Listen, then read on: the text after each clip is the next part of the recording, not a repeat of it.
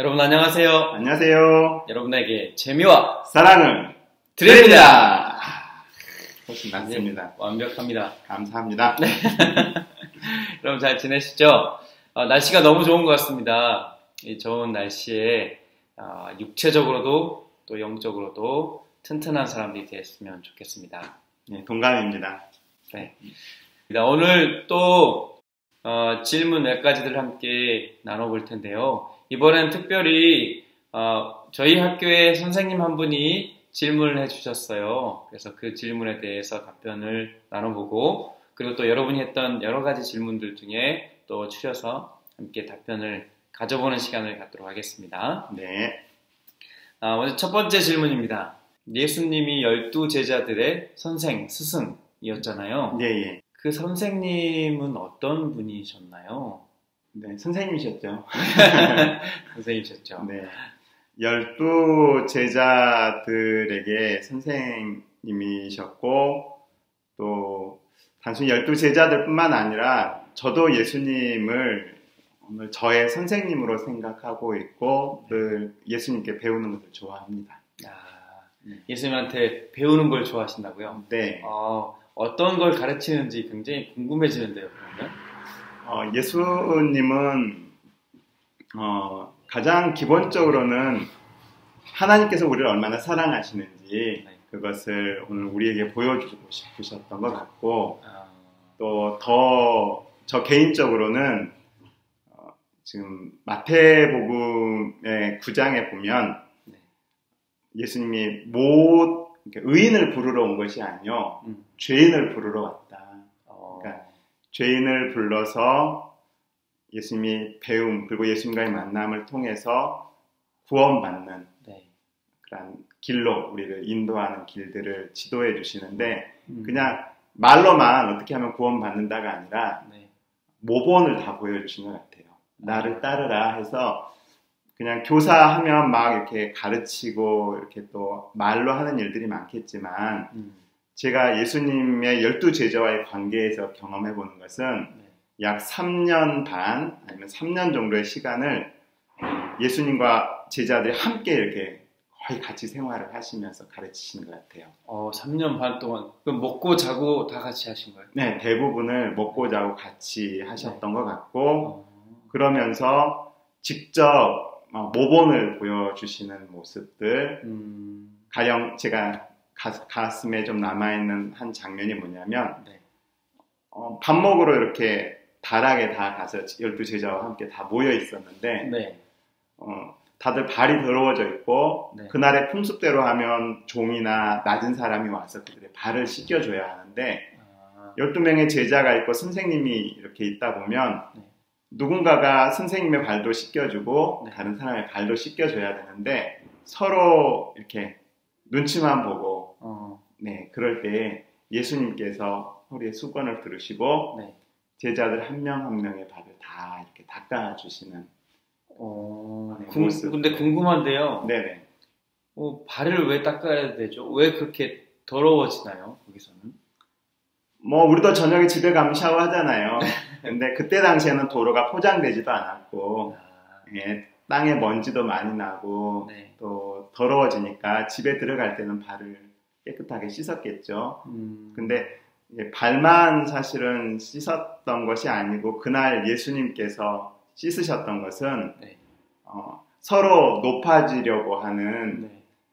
그리고 이렇게 서로 좋은 자리를 차지하려고 하는 그런 제자들의 마음과 생각까지도 음, 깨끗하게 씻어서 음, 서로에게 겸손하고 온유한 그런 삶의 길이 예, 구원받은 하나님의 백성으로서의 또 하나님의 자녀로서의 모습이라고 하는 것들을 이렇게 하나하나씩 이렇게 예를 들어서 이렇게 가르쳐 주시고 음. 또 인도해 주시는 그러한 아주 좋은 교사로서 마음에 음. 남아 있습니다. 아, 그러니까 말로만 하시는 분이 아니라 네. 그 말했던 것을 실천과 모본으로 네, 보여주는 분이시네요. 네. 아픈 사람이 있으면 돈을 받고 고쳐주시는 것이 아니고 네. 그 아픔을 치료해 주셔서 그 낫는 기쁨을 가지고 예수님은 보상을 받으셨던 것 같고 아, 네. 그래서 어, 늘 이렇게 배고픈 사람이 있으면 먹여주시고 네. 그걸 어, 어느, 어디까지 갔냐면 자신의 목숨을 희생하면서까지도 음. 어, 베풀어 주신 그 사랑이 음. 저의 마음에 큰 감동이고 또 네, 저를 그 예수님을 좋은 선생님으로 늘 닮고 싶은 그런 롤 모델 아, 네, 가슴에 간직하고 있는 분입니다. 아, 그러면은 그 자신 했던 이야기를 또 다른 사람들이 배우게 하도록 하기 위해서 자신 목숨까지 바치신 분이세요. 그러죠. 예수님이 십자가에서 죽으셨던 그 죽음과 희생은 네, 오늘 우리들의 죄에 대한 음. 그 우리 용서를 위한 그러한 희생이시고 우리를 대신하여 죽으셨던 그러니까 죄 죄의 삭은 사망이라고 그러잖아요. 그러니까 결국 죄를 지은 모든 사람들은 죽게 됐는데 예수님은 어, 내가 의인을 부르러 온 것이 아니요 죄인을 부르러 왔다. 이게 저한테는 엄청난 감사합니다. 음. 왜냐하면 겨- 결함도 있고 실수도 있는데 나 죄인인 우리를 불러 주셨고 죄인인 그 상태에서 우리의 생각과 마음을 정결하게 하고 그 다음에 구원받는 길로 지혜도 더하여 주셔서 음, 네, 어떻게 사는 것이 우리의 삶에 가장 가치 있고 소중한 길인가를 깨닫게 해주시고 네, 인생 자체를 바꿔주시는 음. 그러한 분이셔서 저는 예수님을 만나게 된 것이 행- 가장 삶의 큰 변화였고 또 지금도 아주 만족하고 있습니다. 아멘. 아 그런 스승이셨군요. 네. 네. 여기에 덧붙여서 더 해주실 말씀이 있으실까요? 우리 학교에도 좋은 선생님들이 많습니다. 예수님을 사랑하고 예수님을 닮아가는 선생님들, 저도 그들을 사랑하고 존경합니다. 네, 스승의 날이 다가오고 있는데요. 우리 선생님들 힘내세요. 힘내세요. 네. 네. 아, 정말 깔끔한 답변 감사드립니다. 고맙습니다. 네. 우리 다음 질문으로 이제 학생들이 해준 질문 몇 가지를 가져왔어요. 네. 이 내용들을 함께 또 살펴보겠습니다. 네, 이번엔 여러 개의 질문들이 왔는데 목사님께서 좀 소개해 주십시오. 네. 먼저 질문이요. 하나님은 장난감을 좋아해요? 네, 이런 질문이 있습니다. 여러분들은 어떻게 생각하세요? 하나님은 장난감을 좋아하실까요? 목사님 말씀을 들어보겠습니다. 어, 결론적으로 말씀드리면, 네, 하나님은 장난감을 좋아하십니다. 아, 그래요? 네. 근데 네. 조금 더 구체적으로 말씀드리면, 하나님은 고차원적인 장난감을 좋아하는데요. 네. 그래서 살아있는 장난감을 만드셨어요. 네. 하나님은 그래서 정확하게 말씀드리면 하나님은 고차원적인 살아있는 장난감을 우리와 함께 가지고 노는 것을 좋아하세요. 나, 네. 네. 그렇군요. 네. 보통 장난감을 사주고 말잖아요. 근데 네. 하나님은 그게 아니고 네. 우리와 함께 우리를 사랑하시기 때문에 네, 우리와 함께 가지고 노는 것을 굉장히 좋아하십니다. 네. 그 장난감의 얘가 코끼리, 코끼리. 네. 굳이 코끼리의 코를 길게 만들 필요가 없잖아요. 네. 근데 하나님은 길게 재밌게 하기 위해서 막 길게 만드셨고요. 네. 네. 장수풍뎅이. 네. 네. 집 애들 집- 키우고 있는데. 네, 키우고 네. 있죠. 아, 얼마나 재밌는지 모릅니다. 우리 애가 아침마다 일어나서 확인을 해요. 네. 네. 사슴벌레. 네. 그리고 또 집게벌레. 네. 그 외에도 여러 가지 동물들. 그리고 바다에 사는 고래들. 네. 하늘에 나는 새들. 세대. 그리고 심지어 나뭇잎들. 그리고 새싹들. 돌들. 그러니까 장난감이 다 살아있군요. 별들. 네. 아, 별들. 네. 여러. 예, 여러 살아있는 가지 거 것들을 다, 그걸 다 하나님께서 만드셨죠. 네. 그런 하나님은 장난감을 굉장히 좋아하시는 컬렉터 같은 분이십니다. 네. 다 만들어 놓으시고, 네. 근데 중요한 건 그거 같아요. 그것들을 하나님 혼자 가지고 놀려고 만든 게 아니라, 사랑하는 사람과 함께 놀, 우리와 함께 놀기 위해서 사실은 거죠. 우리가 좋아할 수 있는 것들을 네. 함께 네. 하나님도 좋아하시는군. 네. 만드셔서 함께 하시기를 원하시군요. 그렇죠. 아, 네. 근데 또 알겠습니다. 재밌는 건 보너스로 그 장난감을 가지고 놀면 네. 그 천연계 속에 나타난 음. 하나님의 사랑까지 덤으로 발견할 수 있습니다. 아, 네. 재밌는 장난감 하나님도 좋아하신다고 하십니다. 네. 감사합니다. 장난감. 자, 그럼 두 번째 질문 한번 드려볼까요? 네. 우리 모두 하늘나라에 갈 수 있어요? 네, 누구든지 갈 수 있습니다. 성경 예수님께서 뭐라고 말씀- 말씀하셨냐면 네. 사도행전 2장 21절에 누구든지 주의 이름을 부르는 자는 구원을 얻으리라 하셨느니라. 아, 네. 네. 뭐 이거 아주 간단하고 명료하군요. 네. 더 네. 이상 답 없습니다. 끝. 네, 모두 갈 수 있다고 하십니다. 네. 그 다음에 하늘에서는 잠 자요, 안 자요? 아, 잠을 안 잡니다. 잠을 안 자요? 왜 네. 안 자요? 이게 질문이에요. 네. 하늘에서 왜 잠을 안 자요? 왜냐면 네. 밤이 없거든요. 성경에 네. 계시록 22장 5절에 네. 다시 밤이 없겠고 등불과 햇빛이 쓸데 없으니 네. 이는 주 하나님이 저에게 항상 빛이심이라 네. 하는 것을 보면 하늘은 밤이 없습니다. 그 낮에 피곤하면 또 이렇게 잘 수 있지 않습니까? 피곤하지가 않습니다. 아, 안 피곤해요. 네.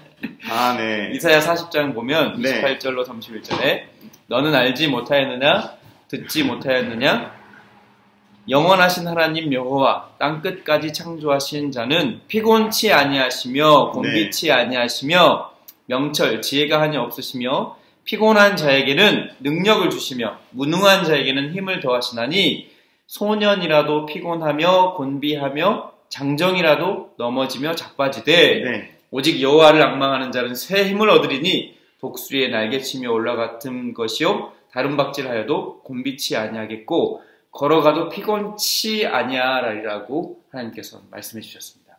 그러니까 여호와를 앙망하는 자는 네. 피곤치도 않다. 피곤치도 않습니다. 그래서 잠 잘 필요가 잠잘 없다. 필요가 없습니다. 세포 분열이 너무 잘 돼가지고 잠잘 겨를이 없습니다. 아, 그런가요? 네, 그 잠자는 게 또 아주 우리에게 안락하고 참 힘을 주고 개운함도 있는데, 그 느낌을 예. 하늘에 있는 생명나무를 먹으면서 네. 경험할 거예요. 자면서 할 것이 자면서 할 게 아닙니다. 잠, 잠잘 시간이 없습니다. 거기서 하루 종일 놀아야죠. 좀 전에 질문했던 것처럼 하나님 음. 만드신 장난감 가지고 음. 하루 종일 놀아야 되는데 네. 잠잘 시간이 없죠. 아, 너무 재밌는 거죠. 너무 재밌는 것입니다. 여러분 꼭 하늘나라 가셔야 돼요. 네, 목사님 말씀 확인하러 한번 꼭 가야 되겠습니다. 네. 그런데 여기 성경에는 우리 모두가 갈 수 있다라고 설명해 주셨습니다. 네, 예수님을 마음에 하면 됩니다. 네. 하늘나라에서는 피곤하지도 않, 않기 때문에 잠잘 필요도 없다. 네. 네, 무서운 밤도 없다. 네. 아, 예. 네. 명쾌한 답변 감사합니다. 종합을 해보면 네, 어, 하나님은 장난감을 좋아하십니다. 네, 어, 우리 모두는 하늘나라에 갈 수 있습니다. 네, 세 번째로 하늘나라 것은 잠도 자지 않고 네. 하나님과 함께 장난감 가지고 놀 것입니다. 네, 이런 결론에 달할 수 있겠습니다. 네. 네. 명쾌한 어, 정리들 네. 고맙습니다. 감사합니다, 목사님. 유익한 시간이었고요. 또 은혜가 되는 시간이었던 것 같습니다. 네, 자, 그럼 오늘 기도하고 마치도록 하겠습니다. 네. 목사님 기도 부탁합니다. 하늘에 계신 아버지 하나님, 궁금한 것들이 많습니다. 많은 답들을 잘 찾아갈 수 있도록 도와주십시오. 특별히 하나님은 지혜가 많으시고 또 이 세상의 위대한 선생님이라고 오늘 우리가 생각했습니다.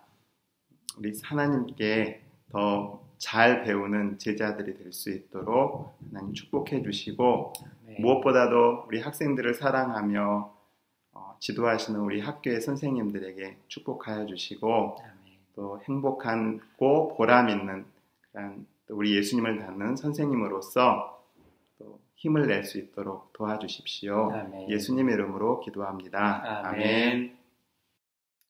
네, 감사합니다. 다음에 또 봐요. 안녕. 안녕.